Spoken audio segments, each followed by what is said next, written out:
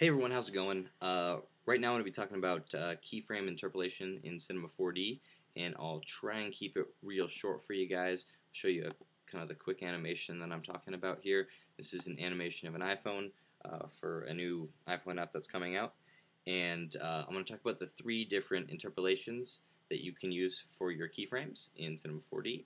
So if you click on any of your keyframes, I'm going to click on this one right here, you'll notice that the interpolation is set to spline.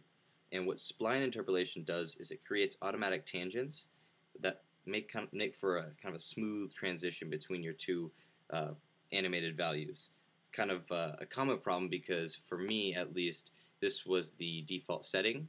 So if you notice, initially when I was making this animation, I wanted from 74 frames to 180 frames for the phone to stay completely still, no motion at all.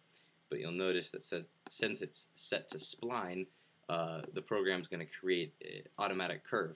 You'll see it kind of moves to the right, moves to the left, and then carries on with the animation. Um, so one of the things that you have to change it to um, is something I'm a big fan of is the step interpolation. Go over here. The step interpolation keeps the values of the keyframe uh, constant up until the following keyframes. So from here to 180, it's going to keep this value completely constant. So play that forward. Now there's no movement in between the two animated values.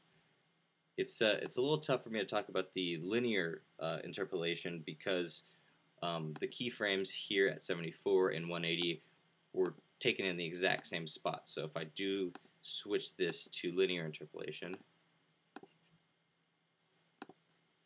it's going to act much like the step because the keyframes are in the exact uh, same place. But what the linear interpolation does, um, if I were to set, move the move the iPhone over, coordinates over here, set a new keyframe, um, it it acts much like the spline in in that it interpolates between the two keyframes, but it doesn't allow for overlapping that's caused from the auto tangent. So um, there's also another way that you can kind of get this linear interpolation if you use the option keyframe. Let me click a keyframe, which is the clamp option, and it's it does the same thing. It creates the overshooting uh, of the curves between the two consecutive keyframes. So um, you know thought I would just give you guys a quick little hint or a uh, quick tip on using Cinema 4D and keyframe interpolation. This is Casey Baker, and thanks for watching.